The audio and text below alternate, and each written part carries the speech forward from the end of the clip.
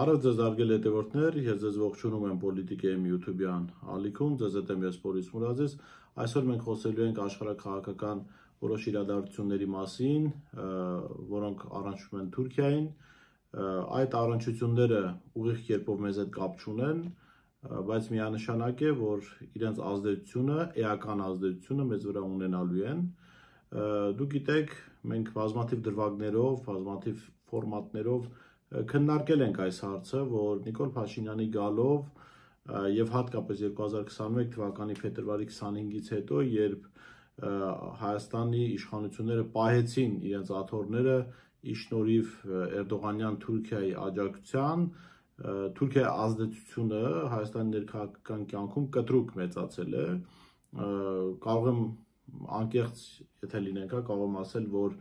անգամ որոշիչ է դարձել Բացի դրանից, Նիկոլ Փաշինյանի գալով եւ Հայաստանը աշխարհակաղակական process-ների թաթերաբեմ սարքելով ըստ էության ներքաղաքական կյանքը դադարել է գոյություն ունենալ, կա աշխարհակաղակական process-ների արտացոլում մեր ներքին կյանքում, դուք տեսնում եք տարբեր խմբեր, որոնք սպասարկում են տարբեր պետությունների եւ կենտրոնների շահեր եւ Հայաստանում ըստ էության տեղի է ունենում այս խմբերի բախումները։ Դրա համար տեսեք շատ քիչ է քննարկվում Հայաստանի բանակի հարցը, ներքին անվտանգության հարցը, ներքին կյանքին առնչվող հարցերը գրեթե չեն քննարկվում, բովանդակային քննարկում առնվազն չկա, ակտիվորեն քննարկվում են արտաքին քաղաքական աշխարհակաղակական հարցեր, Թուրքիայի հետ հարաբերություններ, Ռուսաստանի հետ փչացվող հարաբերություններ, արևմուտքի հետ իբր ջերմացող հարաբերություններ, այսպես խաղաղության խաչմերուկ ասվածը, որը իբրև թե պետք է բոլորին բավարարի, հա։ Եվ մենք ունենք խեղված պատկեր ես իմաստով նաև, որովհետև հիմնականում գործում են քարոշչական քարոշչական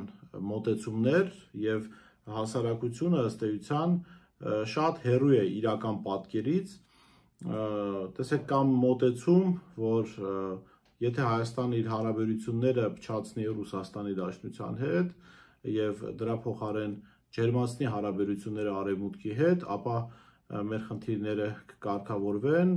իշխանությունները համոզում են եւ իրենց քարոզիչները համոզում էին միջև այս պահ եւ կշարունակեն դերևս համոզել, որ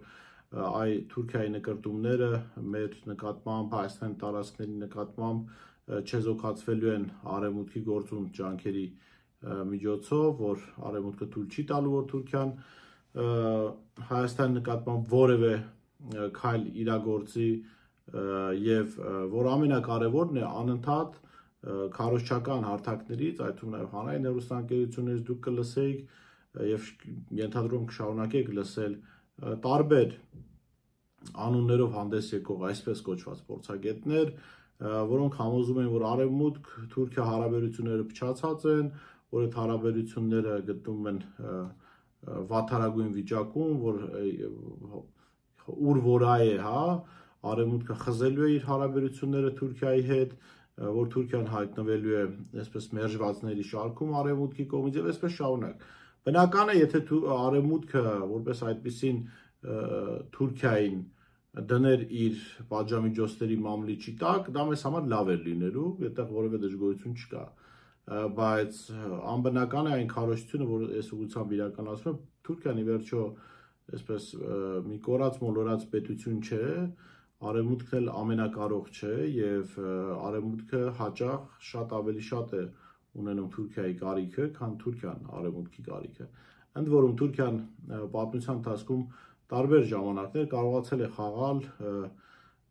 արևմուտքի եւ Ռուսաստանի շահերի արանքում ես կարող եմ ասել, որ հաջողությամբ է խաղացել այս դերը, որովհետև կամ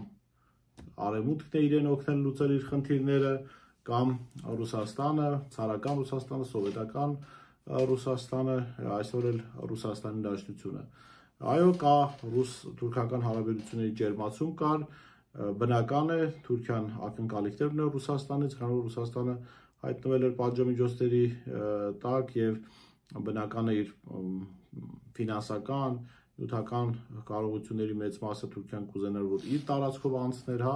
առու վաճառք տեղ ունենար։ Ռուսաստանն էլ այստեղ իր շահեր ուներ, այսինքն շատ բնական է իրենց հարաբերությունների ջերմացումը, բայց չէր կարելի հանրությանը մոլորեցնելով ներկայացնել, որ այդ հարաբերությունները եղբայրական են, չգիտեմ, վերջնական բարեկամական են եւ կամ ինչպես արդեն ասեցի, որ Արևմուտքի եւ Թուրքիայի հարաբերությունները փչացած են եւ ճշտամական են իրար տրամադրված Արևմուտքն ու Թուրքիան։ Ես հիմա 3 լուր կընթերցեմ, որը կարծում պետք է ազդակ լինի, որ Արևմուտքի վերաբերմունքը Թուրքիայի նկատմամբ փոխվում է կամ ավելի շուտ Թուրքիան սկսել է ավելի շատ պետք գալ Արևմուտքին կամ ավելի շատ է պետք գալու Արևմուտքին եւ Արևմուտքը սկսել է սիրաշահում սիրաշահումների ճանապարհով գնալ եւ Թուրքիային համոզել վերադառնալ նախկին հարաբերություններին առաջին լուրը Հունաստանի վարչապետ Կիրակոս Միցոտակիսը մտադիր է մայիսին այցել Անկարա անցյալ տարվա դեկտեմբերին Թուրքիայի նախագահ Ռեջեփ Թայիպ Էրդողանի Աթեն կատարած այցինի պատասխան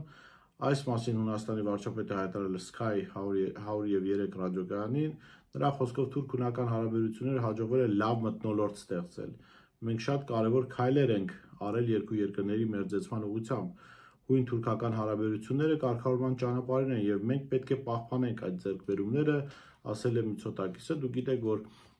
թուրք-հունական հարաբերությունները բավական լարված են, սա պատմական այսպես ժառանգություն է, հա, այս վատ հարաբերությունները գալիս է նաև հույներից ցեղասպանությունից, որ իրականացվել է Օսմանյան Թուրքիայի կողմից վերջին ամիսներին նախորդ տարվա վերջին ամիսներին անընդհատ խոսում էր այն մասին, որ ահա հունական բանակը զինվում է արևմտյան զենքով, դուք վստահ եմ լսել եք հայաստանյան քարոզիչներին, որ Միացյալ Նահանգները զենք է մատակարարում Հունաստանն, այո, կադրեր կային եւ այդ մատակարարումները կային, բայց այն այնպես էր ներկայացվում, որ դա արում է զուտ Թուրքիայի դեմ, որ ուր որա է Թուրքիայի դեմ պատերազմ է սկսվելու Հունաստանի կողմից եւ Հայաստանը այստեղ շահելու է։ Այն որ այդ պատերազմը եթե լիներ Հայաստանը կարող էր ինչ որ իմաստով շահել, որովհետև իր գլխավոր ախոյանը կթուլանար, բայց այդ պատերազմը ոչ միայն տեղի չունեցավ, այլ նաև հիմա արդեն խոսում են հարաբերությունների կարգավորման եւ մերձեցման մասին։ Հաջորդ լուրը, որը էլի առնչություն ունի նաև մեզ հետ։ Կանադայի կառավարությունը վերացրել է պաշտպանական արդյունաբերության ընկերությունների նկատմամբ Թուրքիային զենքի մատակարարման սահմանափակումները։ Դրանք կիրառվել են 2020 թվականին կանադական տեխնոլոգիաները Լեռնային Ղարաբաղում 44 օրյա պատերազմում թուրքական անօթաչու թռչող սարքերում օգտագործելու պատճառով։ Էմբարգոն չեղարկելու որոշումն ընդունվել է, երբ Թուրքիան հավանություն է տվել ՆԱՏՕ-ին Շվեդիայի անդամակցությունը։ Նշվում է, որ արտահանման վերսկսման մասին համաձայնագրի շրջանակում Թուրքիան հստակ ցուցակ կտա, ցույց կտա, թե արդյոք ապրանքները վերաարտահանվելու են կամ փոխանցվելու են ՆԱՏՕ-ի անդամ չհանդիսացող երկիր, բացառությամբ Ուկրաինայի եւ ինչ ինչ ձևով է ապրանքը վերաարտահանվելու։ Հաջորդ լուրը Միացյալ Նահանգներից է, ԱՄՆ ԱՄՆ-ն պատրաստ է Թուրքիային վերադարձնել 5-րդ սերնդի ամերիկյան F-35 կործանիչների արտադրության ծրագրին, եթե հաջողվի լուծել Անկարայի կողմից ձեռք բերված ռուսական S-400 զենիթային համակարգերի հարցը։ Այս մասին CNN Թուրքի հետ զրույցում հայտնել է ԱՄՆ պետքարտուղարի քաղաքական հարցերով տեղակալ Վիկտորիան Վիկտորիա Նուլանդը։ Մենք գտնվում ենք Պատրիոտ զենիթահրթիռային համալիրի վաճառքի շուրջ բանակցությունների գործընթացում, մինչ դրանք ընթանում էին, Թուրքիան այլ ուղղությամբ գնաց, ակնհայտ է, որ թե մենք կարողանանք լուծել S400-ների հարցը, ԱՄՆ-ն ուրախ կլինի Թուրքիային կրկին ընդունել F-35-ի ընտանիք, բայց նախ մենք պետք է լուծենք այդ մյուս հարցը։ Միևնույն ժամանակ Թուրքիային ապահովելով հակաօթային պաշտպանության ուժեղ համակարգով, ասել է Նուլանդը։ Հաջորդ լուրը էլի Նուլանդի ելույթից է, ԱՄՆ պետքարտուղարի տեղակալի պաշտոնակատար Վիկտորիա Նուլանդը այցելել է Անկարա, Անկարայում գտնվելու ընթացքում պետքարտուղարի տեղակալի պաշտոնակատարը հանդիպել է բարձրաստիճան պետական պաշտոնյաների եւ բիզնես ղեկավարների հետ։ Քննարկելով երկկողմ տարածաշրջանային եւ գլոբալ հարցերի ամբողջ շրջանակը, Նուլանդը հայտարարել է, որ ԱՄՆ-ն եւ Թուրքիան ՆԱՏՕ-ին Շվեդիայի անդամակցության Անկարայի հավանությունից հետո վերադառնում են լիարժեք համատեղ աշխատանքի տնտեսական տնտեսական եւ անվտանգության ոլորտում։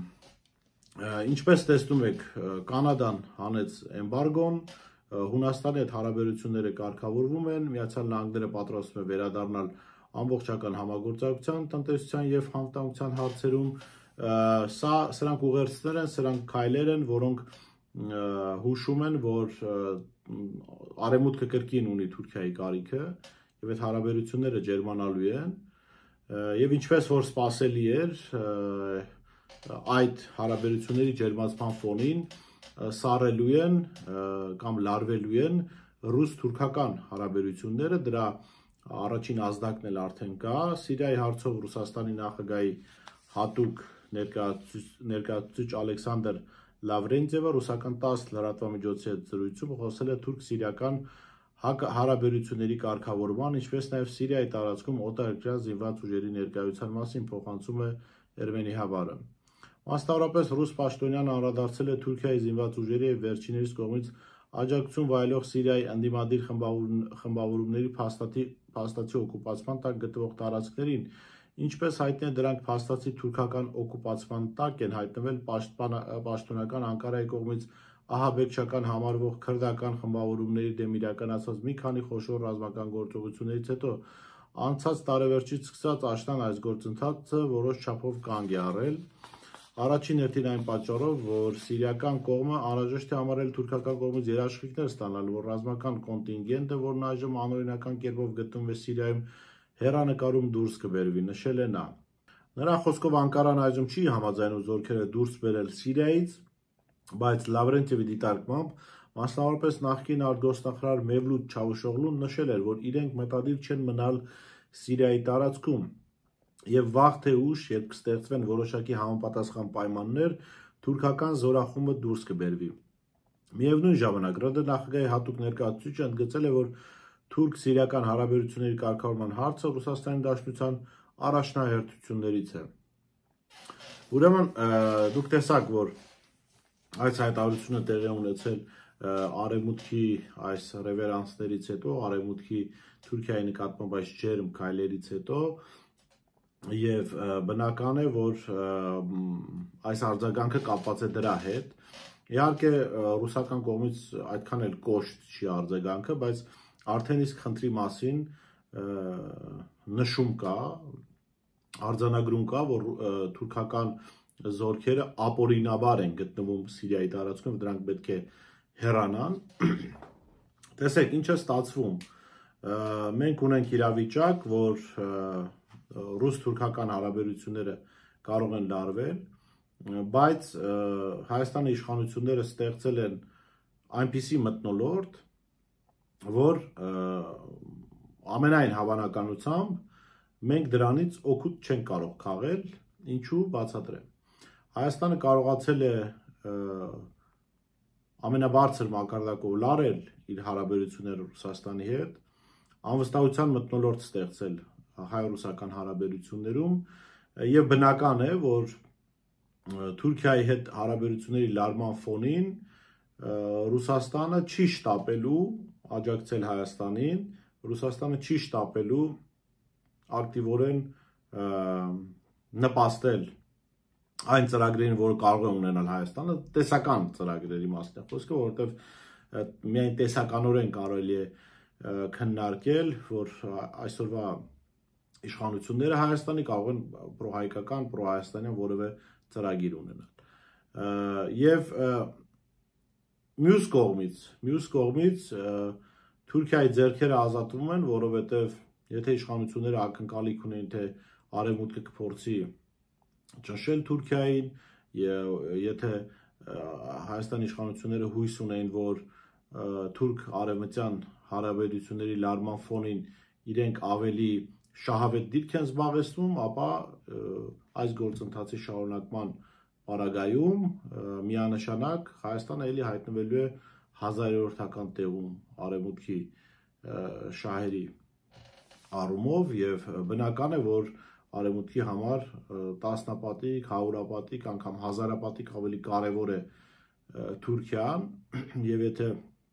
Հայաստանի հետ հարաբերությունների ջերմացումը կամ Հայաստանին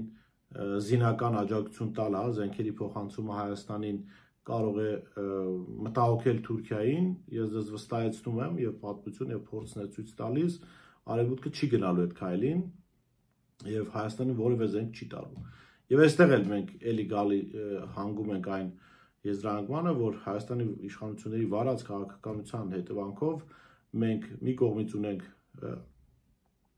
լարված հարաբերություններ Ռուսաստանի հետ եւ բնական է Ռուսաստանը երբեք ու երբեք այս իրավիճակում չի աջակցելու Հայաստանին այնպես ինչպես կարող էր աջակցել հնարավորության պարագայում եւ մյուս կողմից ունենք արևմուտքի հետ թվացial լավ հարաբերություններ, բայց որոնք գործնականում ոչինչ չեն կարող տալ, որովհետեւ դրան ամենայն հավանականությամբ դեմ է լինելու Թուրքիան։ Ես դժվար եմ պատկերացնում, օրինակ Թուրքիան կողմ լինի, որ Հայաստանին ինչ որ զենքեր փոխանցեն կամ օգտեն հայկական բանակի արդիականացման, եթե բանակը իհարկե չի հայտնվելու Թուրքիայի վերահսկողության ներքո, սա էլ եկեք իհարկե տեսական է, բայց չբացառենք այս իշխանությունների օրոք ոչինչ բացառել պետք չէ։ Այսինքն տեսեք, այս իրադարձությունները, որոնք տեղի են ունենում այս օրերին, այս շաբաթների ընթացքում, ցույց են տալիս Հայաստանի իշխանությունների վարած արտաքին քաղաքականության սնանկությունը, որ